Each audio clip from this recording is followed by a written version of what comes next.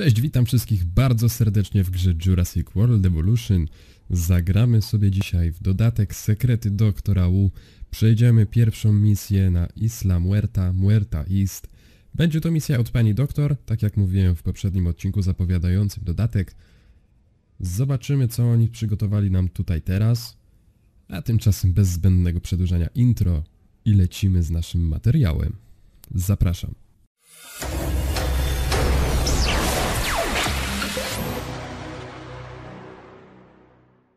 Więc tak, zaczynamy sobie naszą misję. Ja już pozwoliłem sobie tutaj zacząć wytwarzanie niezbędnych nam dinozaurów do tej misji. Potrzebny nam jest Triceratops, Edmontozaur, Dracorex oraz Olorotitan, którego musimy sobie tutaj oczywiście wytworzyć. O, jak widzicie Olorotitan już jest gotowy do wytworzenia. Szczerze powiedziawszy, nie pamiętam ile osobników musi mieć ten gatunek. Lubię ten gatunek, często go robię, ale szczerze powiedziawszy naprawdę nie pamiętam ile potrzeba osobników, żeby on był zadowolony. Z Triceratopsem sprawa jest dosyć prosta. On nie ma dużych wymagań co do liczebności stada, tak więc robimy zalecane dwa Triceratopsy, tak jak mówi nam gra. Edmontozaury niby mają być dwa, ale z tego co pamiętamy z poprzednich odcinków, Edmontozaur lubi towarzystwo, także wydaje mi się, że jak zrobimy takie cztery, to powinno być wszystko w porządku, nie? Wytwórzmy sobie obydwa triceratopsy, niech już sobie biegają nam po parku. Są na tym samym biegu, na którym był Suchomimus. Ja na szybko tutaj zrobiłem jemu y, zupełnie inny wybieg. Dużo wody, jest dużo, jest naprawdę duży, ale miałem problem, żeby do niego dostosować, bo najpierw go przeniosłem i dopiero później na bieżąco powiększałem mu wybieg, bo jednak na początku zrobiłem zdecydowanie za mały. Postawmy sobie dwa karmniki naprzeciwko galerii widokowej, żeby goście sobie mogli na nie patrzeć. Tu nam się zwolnił slocik, a więc zrobimy oczywiście kolejnego Edmontozaura. Gierka na samym początku, już w pierwszej misji każe nam produkować dużo dinozaurów. Odnośnie y, Oloro Titana pewnie, jak go zdobyć, o co chodzi? Y, jak tylko aktywujecie sobie misję, jak zrobicie już wszystkie kontrakty, żeby dostać misję i ją sobie aktywujecie, to będziecie mogli po prostu latać, pojawi wam się miejsce na mapie, w którym można tego Oloro Titana sobie zdobywać. To było tutaj, o, Rosja. W Rosji był Oloro Titan, wiedzieliście? Ja już sobie całkowicie wyczyściłem tutaj y, miejscówkę ze skamielin, tak więc Tutaj odblokowuje Wam się miejsce do wykopywania skamieli Nororo Titana. Nie musicie go zdobywać chyba w Research Center z tego co pamiętam? Nie pamiętam. Ja nie musiałem, bo już możliwe dlatego, że przechodziłem tą grę kiedyś, czy... Nie wiem, nie wiem. Ja po prostu nie musiałem tego w Research Center zdobywać. Jeżeli Wy nie będziecie mieli tej formacji, to wejdźcie sobie w Research Center w zakładkę Fossils i wtedy będziecie wiedzieli, czy musicie go badać, czy nie. No weźmy sobie misję od Lamberta, w sumie dlaczego nie? W ogóle, czy Oloro Titan nam się tutaj pokazuje? To jest dobre pytanie, czy my możemy go w ogóle tutaj znaleźć? Trodon jest. O, jak widzisz, Oloro Titan też niby jest, no ale ja nie musiałem go tutaj badać. Nie wiem dlaczego. Y, nie, nie pamiętam, czy tak było, czy to po prostu tak jest, nie? Czy miałem to odblokowane dzięki czemuś zupełnie innemu, no ale wcześniej był zablokowany. Tak czy owak, jak aktywujecie sobie tylko y, misję, weźmiecie Start Mission od pani doktor, to na pewno miejscówka wam się automatycznie do wykopalisk odblokuje. Na dobrą sprawę Expedition Center możemy sobie na razie dezaktywować, bo nie jest ono nam do niczego potrzebne. Y, wejdźmy sobie w Fossil Center. Na chwilę obecną też nam nie jest potrzebne. Dezaktywujmy sobie. Dlaczego je sobie te budynki dezaktywowaliśmy? Bo nie będą nam niepotrzebnie ciągnęły prądu, przez co ilość pieniędzy na naszym koncie będzie większa. Y, tego nie kupujcie na tej wyspie, tylko przenieście się na jakąś zupełnie inną wyspę, na której macie całą masę pieniędzy i tu sobie to wtedy kupcie. Ale na pewno nie z poziomu Muerta East. Y, Edmontozaury gotowe. Wytwórzmy sobie może jeszcze jednego tak dla świętego spokoju. Chociaż w sumie dobra, wypuśćmy te trzy, zobaczymy. Może to wystarczy i może nie będziemy, będziemy musieli. Ja nie przepadam za, za tym gatunkiem. Rzadko go robię, bo najzwyczajniej mi się nie podoba.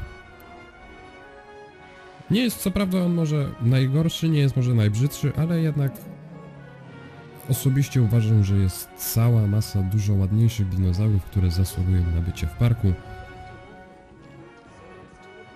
O, nie potrzeba czwartego. Dobra, zostawiamy trzy. Co tu jeszcze musi być? Dracorex razy 3. No 3 to jest takie absolutne minimum, jakie musi być, żeby Dracorex był zadowolony i nam nie świrował. Okej. Zresetujmy sobie wszystkie geny, jakie tutaj mamy zmodyfikowane, bo nie chcemy e, nieudanych inkubacji. Możemy sobie tylko co najwyżej pobawić się jakimś genem kosmetycznym, żeby jeden na tle się tutaj z całego stada wyróżniał.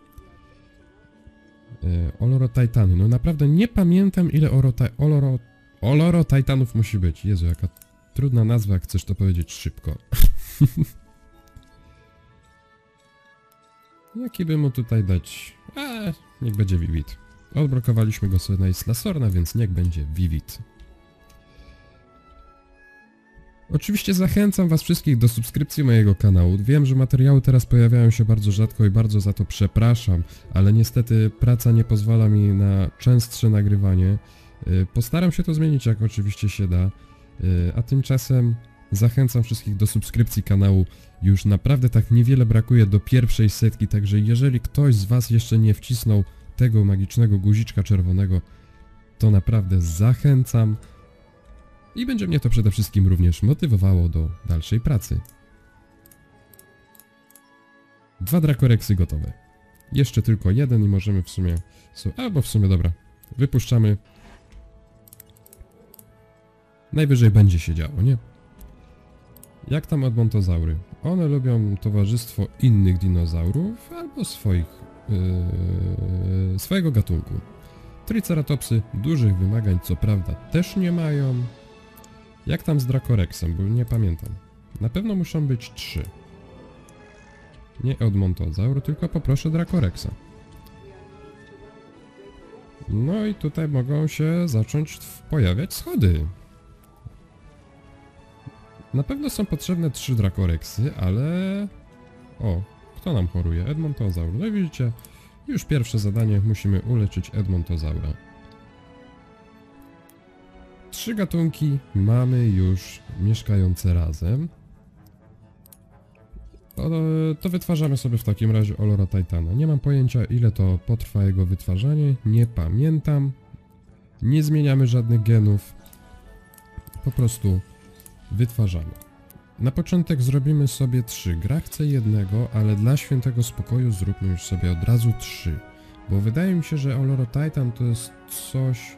Nie jestem specjalistą od dinozaurów. Ja lubię, fascynują mnie, ale nie jestem jakimś wielkim naprawdę znawcą odnośnie gatunków.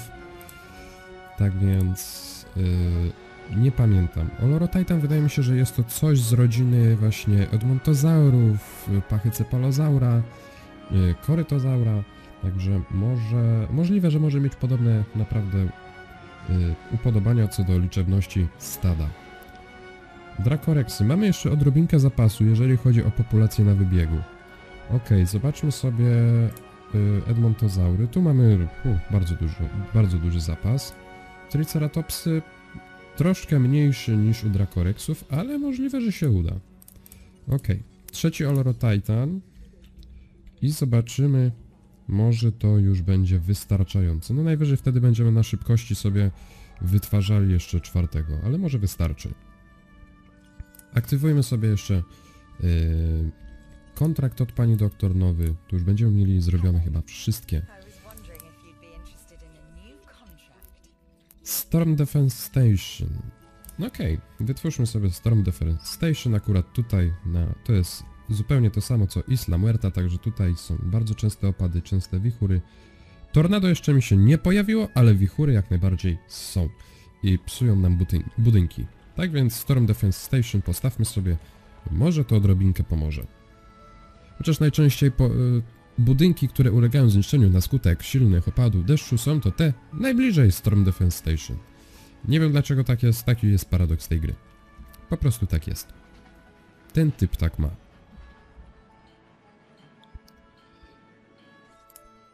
Planuję na jakiś, powiedzmy na dniach, niedługo, nagrać kolejny odcinek z polecanych modyfikacji. Co wy na to? Tylko tych modyfikacji takich godnych polecenia pojawia się naprawdę, ale to strasznie mało. Jest mało takich modyfikacji, które warto polecić, które mogą być ciekawe, interesujące i mogą yy, wnieść sporą zmianę, tak? Albo odczuć tak, że cokolwiek się zmieniło. Jest cała masa modyfikacji, które dodaje nowe gatunki, ale większość z nich jest tak niedopracowana, że na dłuższą metę bolą oczy. Jak chcesz sobie popatrzeć na nowy gatunek, to no widać te piksele i jak to powiedział Jurassic, y, ja zapraszam oczywiście serdecznie na kanał Jurassica. Y, Pozdrawiam ziomuś. Y, Jak on to powiedział? No niektóre faktycznie modele wyglądają jak 2D. Nie, także tu cytat z naszej korespondencji. No ale no, niestety muszę się z nim zgodzić. Y, Wypuszczamy sobie Oloro Titana. Nie ma co dłużej czekać. Zobaczymy sobie od razu jego wymagania. I Oloro Titan pierwszy raz pojawia się w naszych parkach. W kampanii go nie było. A tutaj pierwsza misja z sekretów doktora Wu i od razu nowy gatunek.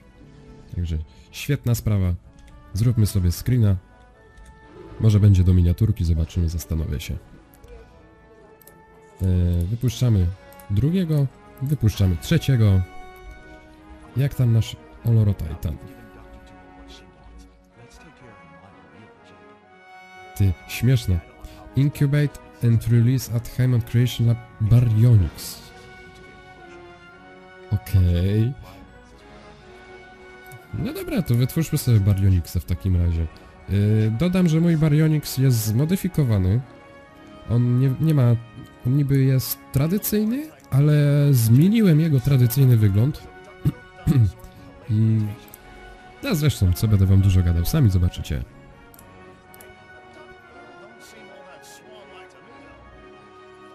Sprawdźmy sobie jeszcze jak wygląda komfort Dracorexów. No tutaj już jest hardcore.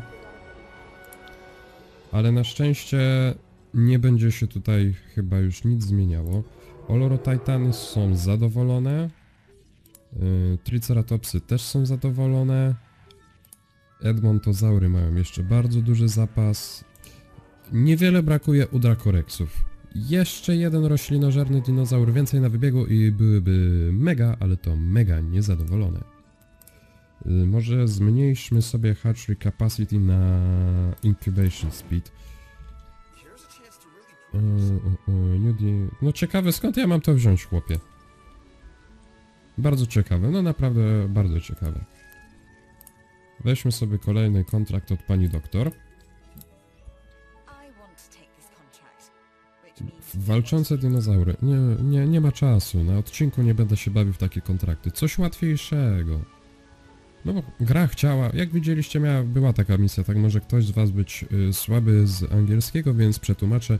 Jeżeli pojawi wam się y, misja z, odnośnie fotografowania dinozaurów w różnych sytuacjach, no to po prostu bierzecie sobie, y, idziecie do Ranger Station, bierzecie Drive Vehicle i wciskacie literkę F i najzwyczajniej w świecie macie tutaj opcję aparatu. To nie chodzi o zrobienie screenshota z rzutu ekranu, tylko musicie tam fizycznie po prostu przy tym być z samochodem. Także taka mini ciekawostka, gdyby po całej kampanii ktoś jeszcze nie wiedział. Bardzo cieszy mnie odzew, yy, pozytywny wasz odzew w komentarzach, jak zobaczyliście, że zaczynamy ogrywać sekret doktora U, także naprawdę jestem bardzo zadowolony. O, management, musimy zwiększyć obsadę w naszym fast foodzie, w sklepie z podarunkami również, bo jak widzicie już się zaczęło tam robić trochę tłoczno.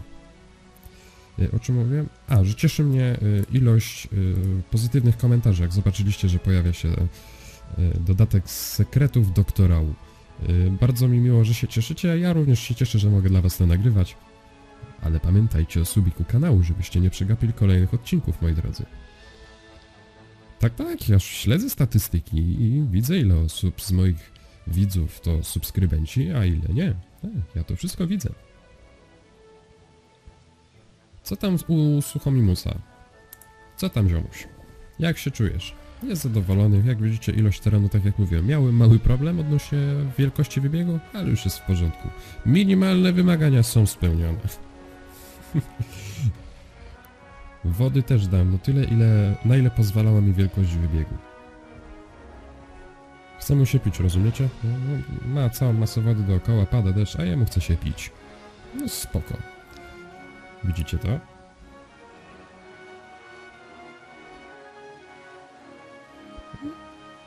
Nie ma karmnika, ale za to są rybki. Z ciekawości wejdźmy sobie w statystyki i zobaczmy jak wygląda widoczność naszych dinozaurów. 87%. Dlaczego tylko 87%? Co nie jest widoczne? Nie mam pojęcia. Naprawdę nie wiem, który dinozaur nie jest widoczny.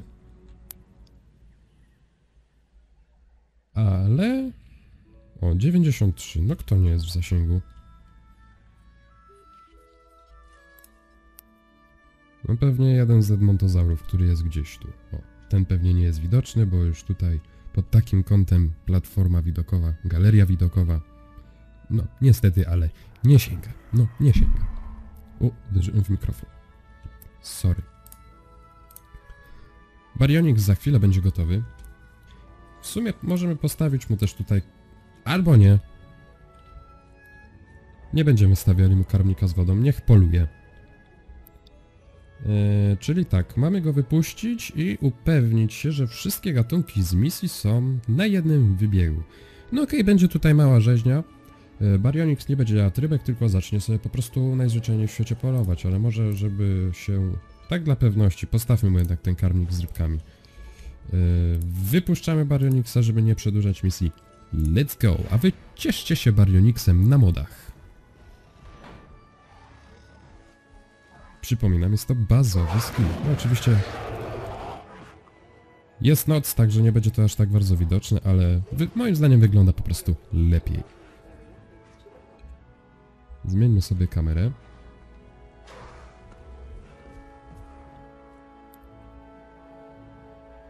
Enter each dinosaur remain. Okej, musimy być pewni. No jestem pewien, że są wszystkie razem. Tego jestem akurat pewien.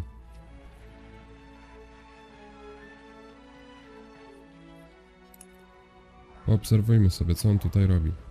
Oczywiście będzie bił się z Triceratopsem w takim razie. A gdybyśmy tak na przykład... Yy, pomogli trochę temu Triceratopsowi? Bo nie wiem, czy tutaj może dinozaur nam zdechnąć. Ale mu pizgnął. Ja bym tutaj jednak...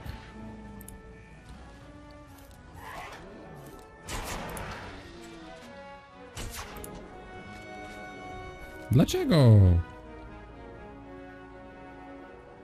No i co? Misja się zakończy? Nie usuwajcie na razie tych zwłok, bo możliwe, że to chodzi właśnie o to, żeby zobaczyć jak się zachowuje Baryonyx. Nie usuwajcie ich. Poszedł sobie na ryby. Okej. No ale jak widzicie, Triceratops bez modyfikacji nie ma najmniejszych szans z Baryonyxem, też bez modyfikacji. Także taki fajny teścik. Co on tak nagle się... Szybko się postarzał, znaczy... Zakonserwował? No, ciężko powiedzieć. Myślicie, że jak później wsadzę tego Baryonyxa do Suchomimusa, to będzie bardzo źle? Dajcie znać w komentarzu, co sądzicie. Czy będzie rzeźnia? Ale będę dużo poruszał tematów w komentarzach. No, chyba dzisiaj trochę przesadziłem. Dajcie znać o modyfikacji, dajcie znać w komentarzu. Powiedzcie, co sądzicie o Suchomimusie i Baryonyxie. No i ogólnie tak, no trochę będzie, będzie pisania, ale oczywiście, od czego jest klawiatura? No od pisania oczywiście, nie? Yy, nie, dziękuję. Herrera Zaura na razie nie chcę. Panie doktor, normalny kontrakt. 20 milionów. Z ciekawości weźmy. Ty to teraz jest warte już 10? No bez jaj. Nie, no, zmieńmy tą misję, bo to nie ma sensu. Ile tu jeszcze brakuje? No, trochę jeszcze brakuje. No, trochę. Ale jak widzicie, Baryonyx może zabić dinozaury na wybiegu, także nie ma żadnego problemu. Dobrze, że zabrał się za Triceratopsa i jeden Triceratops yy, może sobie żyć. Nie za jakiegoś na przykład yy, Dracorexa, bo wtedy byłby problem i musiałbym Ty patrz, znowu się zabrał za Triceratopsa, no proszę. Eee, niech on już sobie tutaj jedzie, niech tylko jedno uderzenie pójdzie. Zostało 14, 13.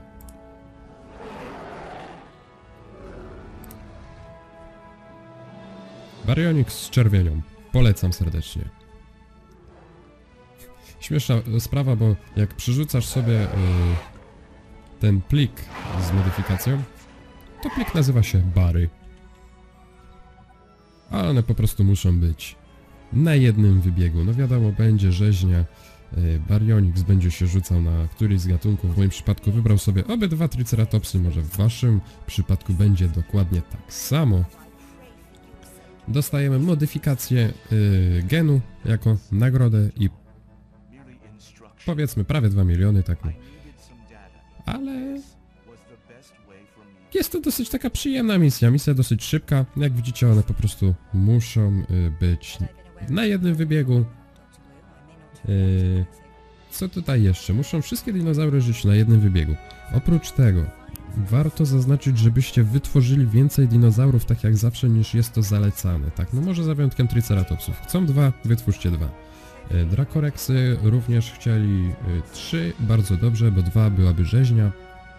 Olorotitany, no nie możecie wytworzyć jednego. Olorotitany muszą być trzy, bez żadnego wyjątku.